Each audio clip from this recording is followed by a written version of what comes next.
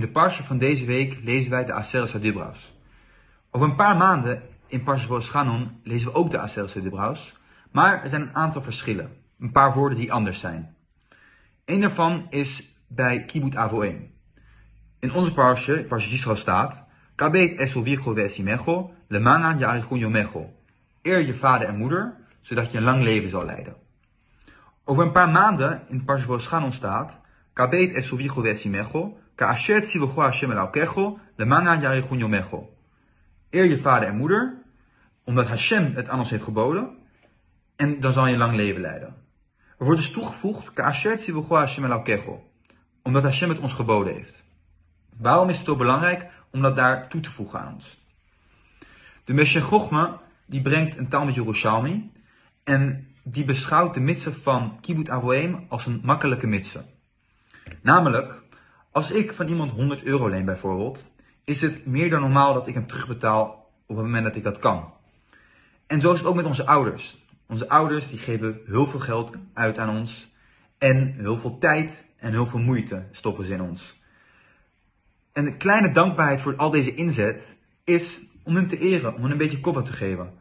En dat is meer dan normaal om hem op die manier soort van te danken. Het is gewoon eigenlijk een soort van terugbetaling, net zoals met die lening. Dus het is helemaal niet moeilijk om Kibbut Avo 1 te doen. Het is de, een van de normaalste zaken, zou je zeggen. En daarom komt de parsje in Vooschanon ons leren, Waarom doen we de mitsen? Omdat Hashem het ons heeft geboden. En niet omdat we uh, onze ouders willen danken. Dat is niet de reden. In de midboor hadden we namelijk heel veel eten. We hadden mon, we hadden geen eten nodig van onze ouders. Onze ouders hoefden dat niet te regelen. Zelfs met het drinken hadden we van de BR van Miriam. En ook kleren hadden we niet nodig. We hadden kleren die met ons meegroeiden. Dus onze ouders hoefden ons helemaal niet veel te geven. We waren dus ook veel minder dankbaar naar onze ouders dan dat we tegenwoordig zijn met alles wat we krijgen van onze ouders. Het was daarom toen veel moeilijker om de mitzvah van Kibbut Avo 1 te doen. Omdat er niet echt een reden was. Toen was het echt alleen maar omdat Hashem het ons heeft geboden. En dat is wat we leren van deze mitzvah en van de toevoeging Kashetzi Hashem Kecho in Parshas Roeschanon.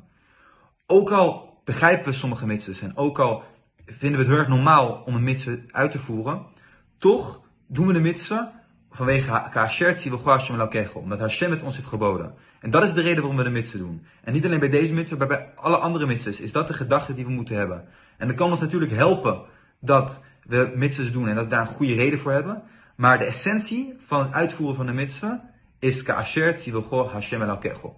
Good Shabbos. לכל דאודי נכחס קלו פני שבוס נקבלו